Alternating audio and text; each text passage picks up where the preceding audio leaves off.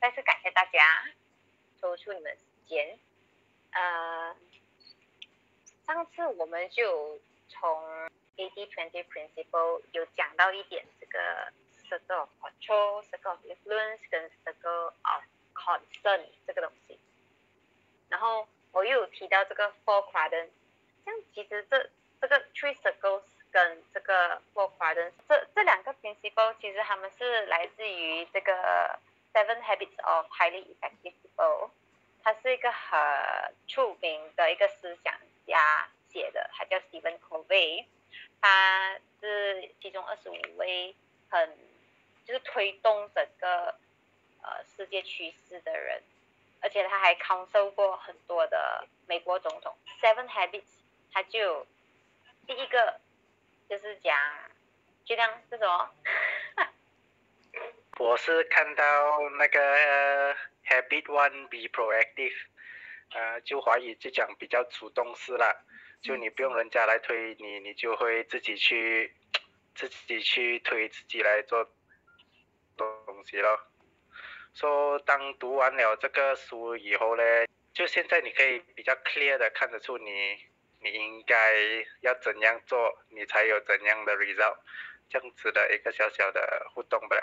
说对我来说，其实每个人都在 practice 这，是你看看到还是看不到不了。原来就看不到的人，就有可能他就比较 lost 哦，有可能他做东西他就不知道我在做这个东西是为了什么了。但是如果你已经有一个好像有一个其中一个 habit 是 is to think with the begin with the end in mind，就 at least 你有一个 goal 了，你就可以迈向一个很 clear 的一个目标去前进咯。所以当你知道了，你就会走少一些冤枉路了。at least 这是我的看法啦。自从我开始学会这个什么 control 这个东西，我觉得它很能。呃，让我控制我的情绪。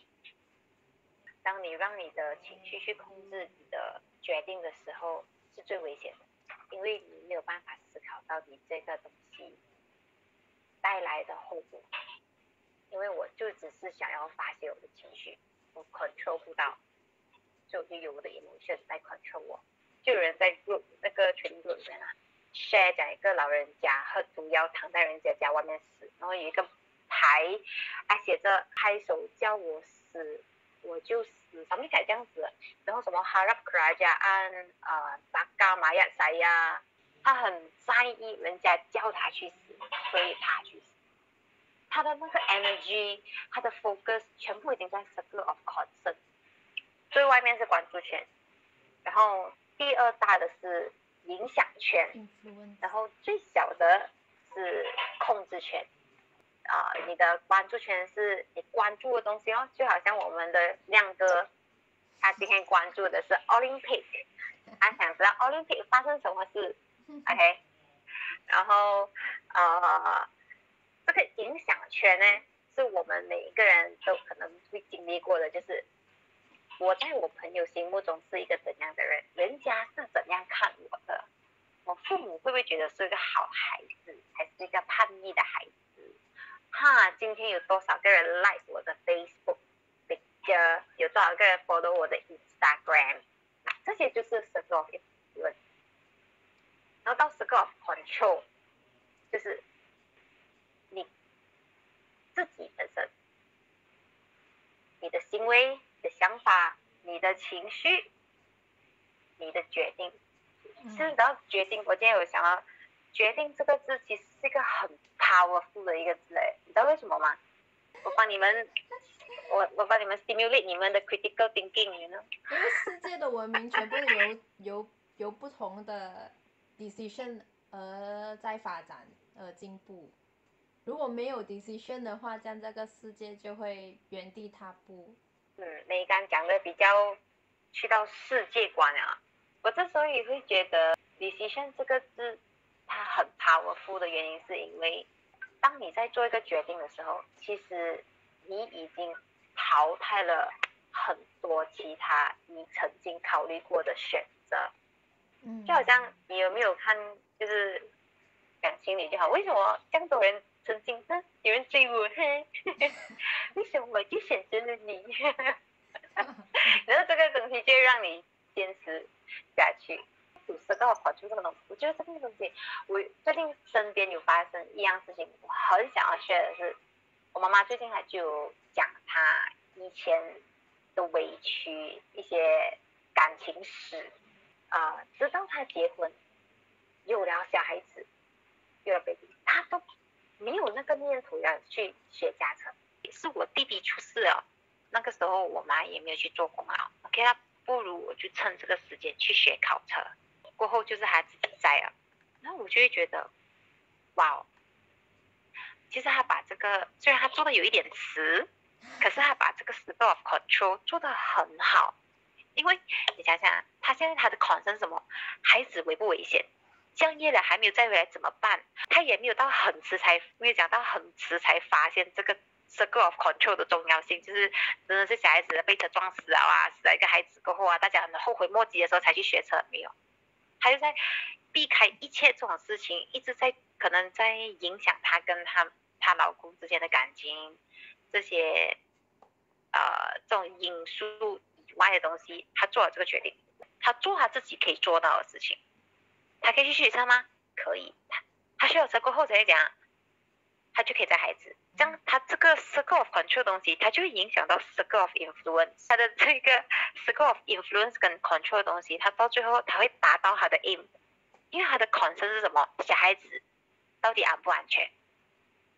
他就从最小的 circle of control 去影响到他的 circle of concern，到最后因为他自己去载他的孩子，准时载他的孩子，他的孩子是安全的。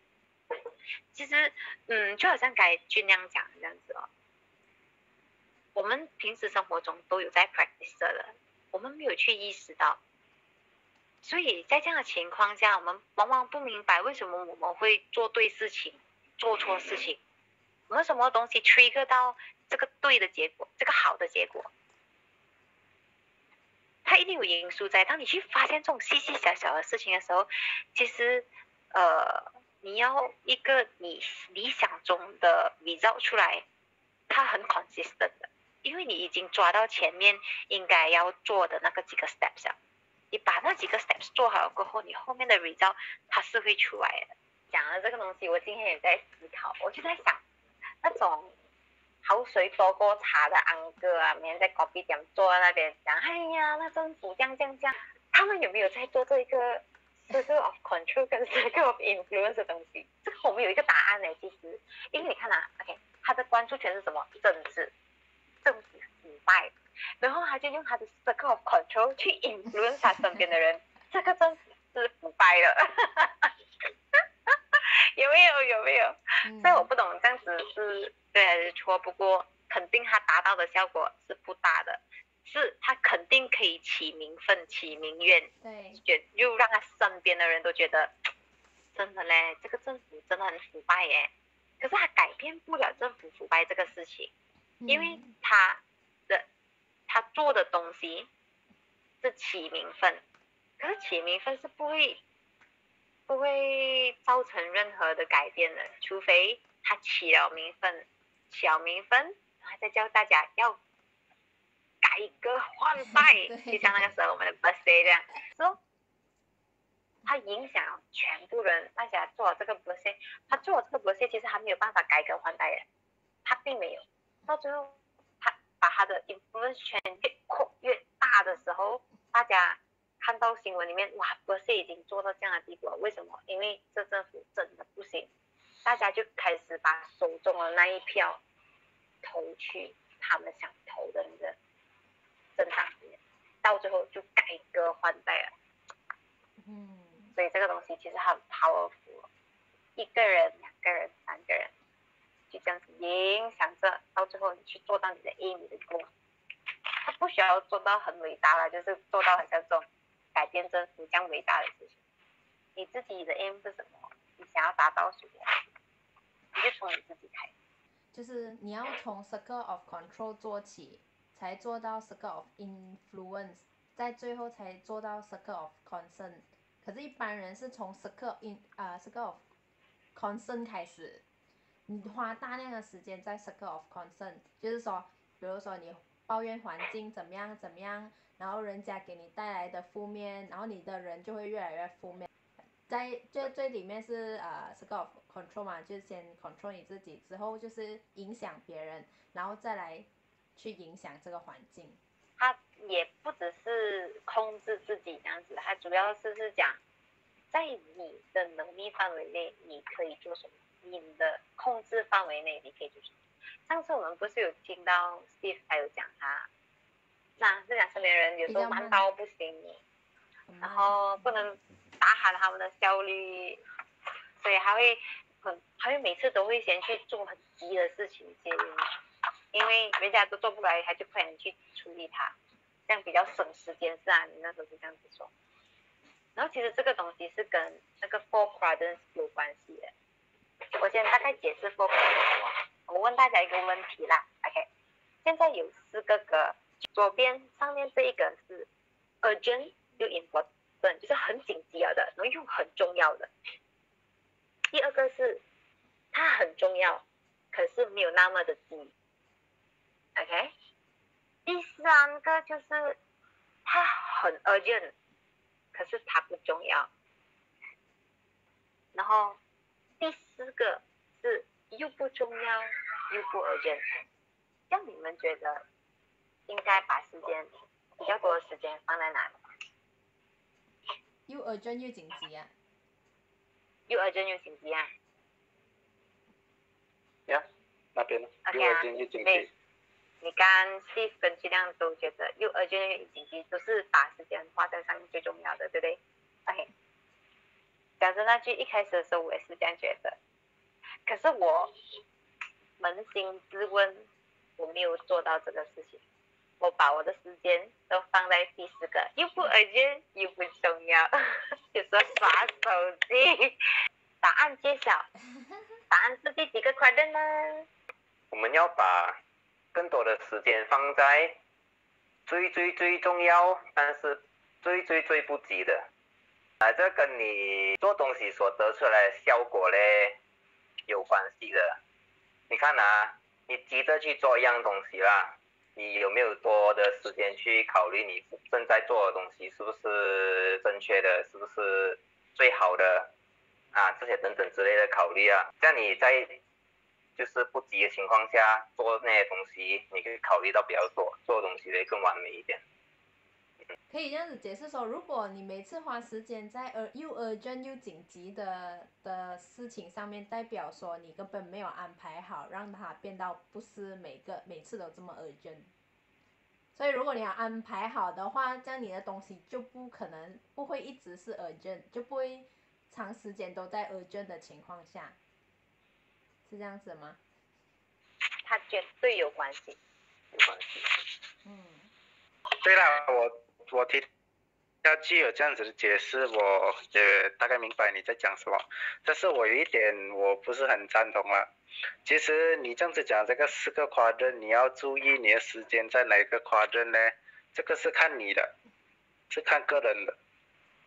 因为有些人就是会把时间就是花在那个又急又重要，它也有它的原因。因为每一个情况呢是要看那个 priority list。哪个是对你比较重要？有可能同一件事情对别人不是很重要，但是对你，你觉得你是要解决这个问题。啊，我给一个小小例子啦，就好像如果讲啊又急又重要的东西，就是当突然你生呃家里有人突然生病，还是突然中风还是什么，这个情况呢，讲真是一个很急又很重要的一个事情。然后你讲重要又讲不急的东西，你要先做的话呢，在这个情况根本就没有这样子的东西，全部的状态已经是已经是 panic 了，都是已经是一个处于一个很紧急、一个很重要的东西。So，当如果你放在 general 的一些没比较普通的一些事事情，我明白你所讲的东西，我们也可以 apply 那个八十二十法则。就是我们有可能就是 focus 在一些比较重要但是没有降级的东西，自然的有些比较重要还有急的东西呢，它就会缓和了，你就不用太紧张的做了。这样子的话，我就赞同。所以你讲，因为书里面讲要花那个时间在这个这个象限的话，这个夸顿的话呢，我是有一点不赞同了。at least 这是我的看法了。就是不要把所有的时间都放在第二个夸里面。的确，你不可能只能做 you important 可是不 urgent 的东西，因为 urgent 的东西真的是在等着你处理啊，你怎么可能不去处理？对不对？像其实回答质量的那个问题，如果你知道 health 是一个很重要的东西，这样我们是不是可以在 second quadrant 这边先 plan 好我们的饮食，先 plan 好我们的运动，先 plan 好大家的 body check up。其实这种东西就好像美刚说的这样子，如果你把更多的时间放在 second quadrant，就是 second quadrant 它是 more to planning。尽量讲了一个东西是很还还蛮有 point，就是对你来讲重要的东西，对别人来讲其实不重要。所以你要懂什么对你来讲是重要的。有些人觉得亲情很重要，你可以问很多安哥安迪很成功的安哥安迪，他们就会讲，哦，我觉得现在其实我最后悔就是我没有陪到我的孩子成长。这是我老板跟我讲的，他讲问了很多身边那些比较有比较成功的那些客人。我也想问一下我父母，他们有没有后悔过没有陪我成长，就放任我，当我是放牧羊一样给我跑。应该不会吧？每天都见到你，还要照顾你。那见到我跟陪我成长是不一样的。一个简单就是我小时候我印象很深刻的是，哇，我我很想要我自己吃饭，因为我妈生病那时候，我记得我很小很小还不能自己吃饭，可是我看到她生病到很辛苦，然后我就把那个碗拿过来，我讲我要自己吃，我很坚决的我要自己吃，结果因为我真的不是很会，我把整个碗打在地上，那个饭就乱喷。碗也裂了，我妈很生气，她就是整个情绪崩溃。我已经很辛苦了，我已经生病了，我叫你不要这样子，你还跟我这样子，结果让我还更忙哈，就可以中倒。你们没有经历过的呗？你们童年都这么的美好吗？一定有的。呀，就是呃。对，我在他身边，可是他并没有陪我成长。他，他，他不会告诉我，哎，这些就是他看到我的付出，他肯定我对他的关心，他没有，他就很纯粹的，就是站在他自己的立场看，我很辛苦啊，你看到不到我，看不到我辛苦，你不明白我，总之我就是全天下最苦的人。其实到现在他还是有这个毛病，唉，所以我会一直在用我所学的东西，每天给他学，给他学。其实你知道吗？你不是全世界最辛苦的人。你是不是开始？我就问他，你是不是有那种被害妄想症？这个我跟我哥在讲，我跟你讲，我妈最近真是个很有趣的一个灵魂。她每次讲的东西啊，永远是超乎我的想象。OK，就是健康、陪家人的时间，或者是感情。有些人就讲哦，我拼事业，我为了我要有第一桶金，我才可以结婚。然后你就要你的另外一半去等你。但对你来讲，其实什么才是重要的？因为如果你觉得那个重要的话，可以讲安排。我不是叫你鱼什么鱼鱼鱼熊掌，两者不可兼得，不是的。其实，它肯定一定有一定有影响，可是不代表如果你今天你想要得到亲情，你就必须要失去你的工作。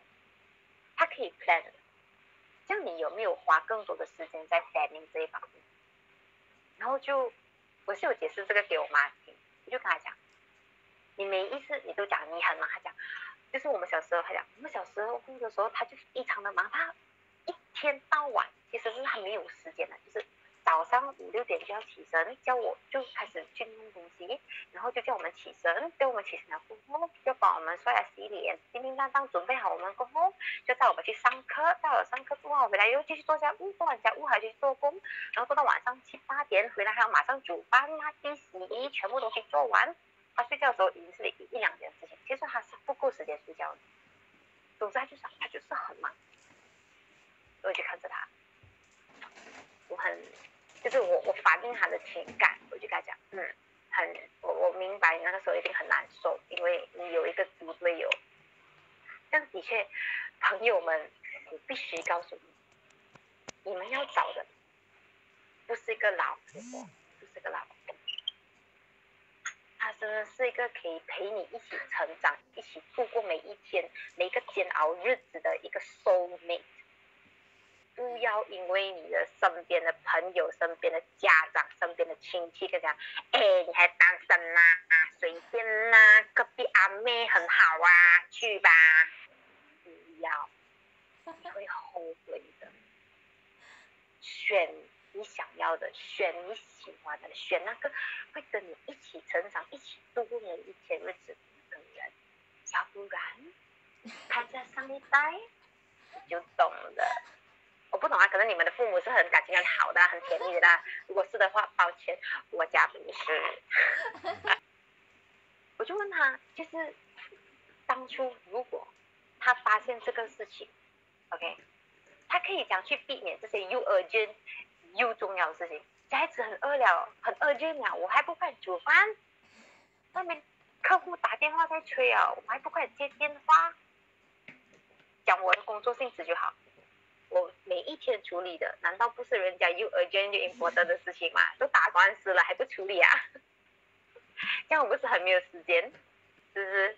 这样我要讲去分好我的事情，肯定又 urgent 又 important 的东西你肯定要处理的。可是如果你把 planning 这一块做好了，其实 urgent 的东西往往会少很多很多。我就问我妈，如果当初，其实如果他我妈或者我爸让我们从小就去学会做家务的话，我们是会帮忙，或者请一个保姆，请一个女佣回来。他没有对跟错啦，这个东西。有些人讲，请好女佣工，你孩子很懒的，这是看教育的，拜托。如果你是有陪着你孩子成长的话，你有教育他的话。教育这一块真的会影响，除非他的他的本性就是那种，其实他他可以省掉很多二件的东西，他可以做更多有意义的事情，例如陪我们成长，不是吗？他请要保姆回来，他可以跟我们讲，哎，你现在你要做什么？你功课做完没有？没有的话，我可以陪你一起做啊，还是什么？这样其实时间上的东西，他就可以安排很多的，安排。分工很重要。那时候，哎，就像也是有提过啊，上次 delegation 分担工作啊，分工哦，就是，所以其实，if 你可以可能想一想，到底里面这个你的 support control，你可以讲去 influence 你身边的人，然后讲让你的时间其实不需要那么的紧凑。如果你是讲你的工作时间本来是十点到十点，这个你没有办法 influence 你老板讲，OK 啦，你点八点就放工啊，那个不一样啦，你，你的东西要讲。呃，对我的东西要讲，其实其实我我的解决方法就是提早做准备，就是那些重要的东西我提早做准备。当遇到很突然间突发事情，然后我有被干，我可以直接马上跟他扛下去，所以就不会变成非常急的一个感觉啦。就就比如说，好像我自己经历过一个，好像比如说 accident，OK，当你 accident 的时候哦，你肯定是六神无主的嘛，对不对？嗯。你一定会想不到办法要怎样去处理现场的一个状况。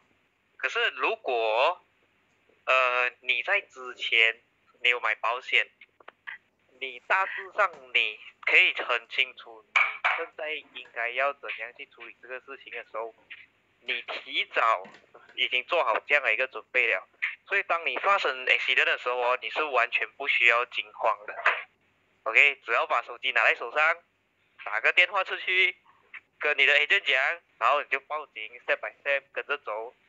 然后你就会很顺畅的把整件事情去处理好，因为我发现到哦，有很多时候 accident 哦，就是因为会有好像没有来生啊，或者没有入 tax 啊，或者没有买保险啊，然后就变成很多很痛苦的问题出现。就比如说今天你进了医院，A C 证进了医院，你没有买保险，你要没有买医药卡，你进了医院你要一大笔钱，你要怎样去想办法弄这笔钱出来？如果你今天你有买保险，啊，你就会用你的保险来 cover 它。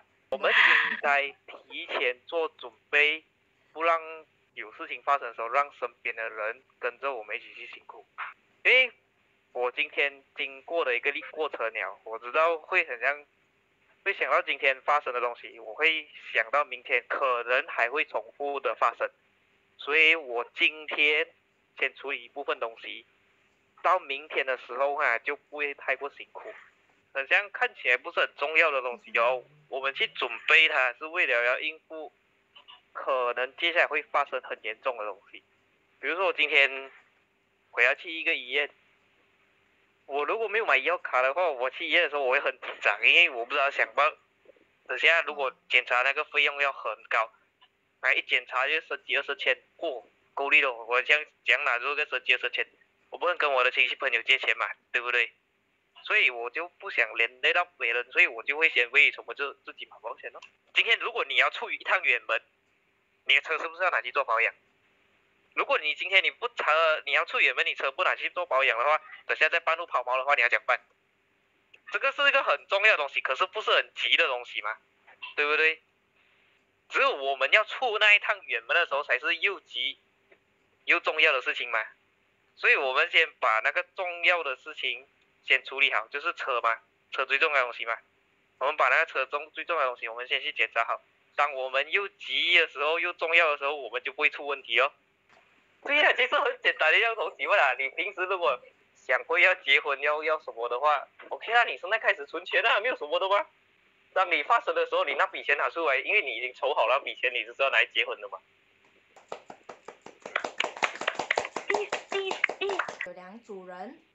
第一组人给他看一个年轻的女孩的画像啦，第二组人呢给他看那个好像老太太这样的画像，然后哦他们看完之后就给他们看那个那张图呢是孔拜，呃少女跟老太婆的那个图来的，所以啊当每一个人一看下去哦，大家就会因为已经有第一印象啊，没有啊这个就是少女啊，那，你讲什么哪这哪里是老太婆？然后另一第二组人就讲，没有这个就是老太婆，你看这个是她的鼻子，这个是她的嘴巴，所以很那个人呐很容易给他的第一印象去决定他的思维方向。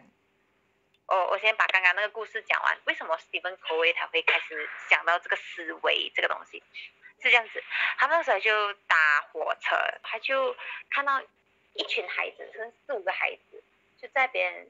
在车里，那个火车里面就跳啊、吵啊、闹啊，可是他爸爸完全没有反应，就这样子坐那边，任由他的孩子吵吵闹闹。